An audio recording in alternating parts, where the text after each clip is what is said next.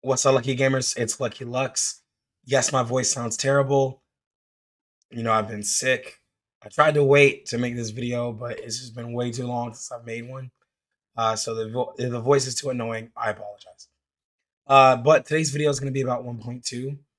Uh, we had a really interesting conversation on stream uh, yesterday, and I wanted to put that in a video uh, because I I think it's helpful to some people. So, um, as we know, with 1.2, you're going to be getting Tooth Fairy, and you're going to be getting uh, Changeling, Jessica, right?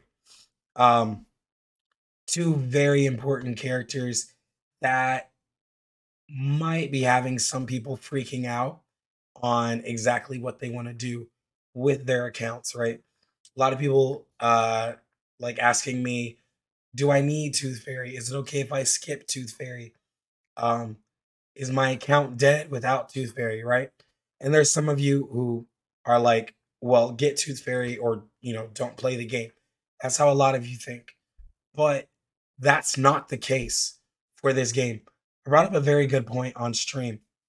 You really need to know where your account is, right?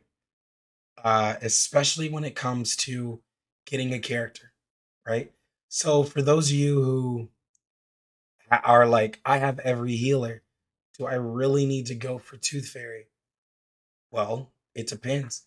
How did you build your account, right? So, for instance, just gonna go through something again. This is for people who might not be able to afford Tooth Fairy, or you're wanting another character and you're wondering if you can get maybe Tooth Fairy like at a later time.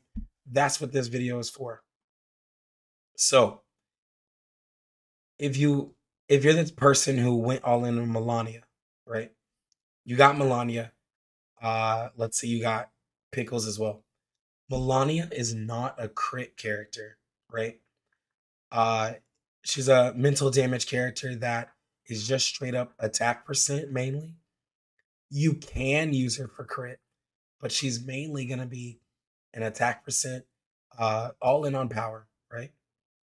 If you went for her, you don't need Tooth Fairy with Melania, for instance, right? If you're the type of person who's gonna go all in for Black Dwarf, Black Dwarf is not a crit character. You're okay with not getting Tooth Fairy.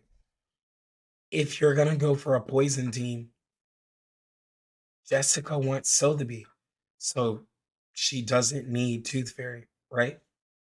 This is where when you know your account and you know exactly what you're going for, you can make decisions like that, as in not getting a meta character. But it just depends on how you built your account. If you have your account centered around Regulus, Lilya, uh, you know, a lot of reality damage characters, you plan on getting characters like 37. Maybe you looked at Spathodea. Maybe you're looking at um Shamane, right?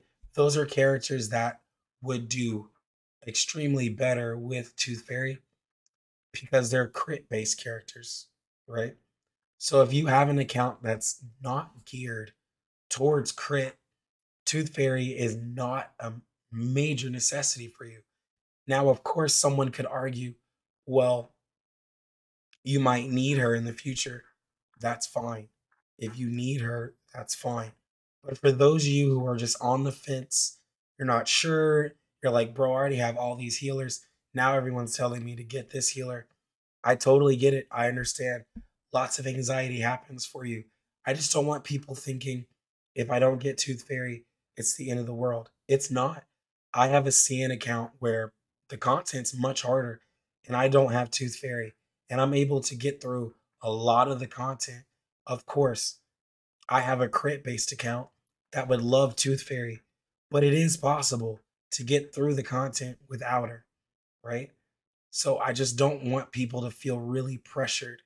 Like there's multiple ways to play this game. And so that's all I'm saying. That's mainly what this video is about. Tooth Fairy, very good character. But if you have concerns because you have every healer already, um, if you're trying to get a character that's after her or in 1.3, you're like, you're just unsure. Again, there's another time that you can get her. She's gonna come back eventually in 1.5. She'll be added to the standard pool. It's gonna be okay.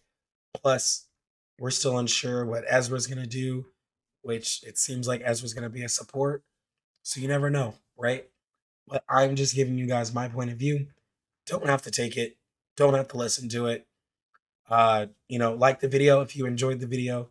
Comment down below what you guys think. Comment if you're if you're thinking about skipping Tooth Fairy, let me know your reason. I'm curious.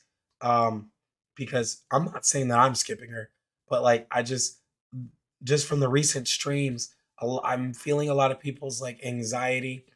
A lot of people are unsure if they can get both, and they're like, "Do I just uninstall if I can't get Tooth Fairy?" So I just don't want that pressure, especially for a game that I love. I don't want people to feel that pressure. But guys, this was a really short video. Plus, I don't want to talk too much. Um, and again, I apologize for the voice. I have tea. I have like all types of constructs and stuff like that. I'm trying to get better.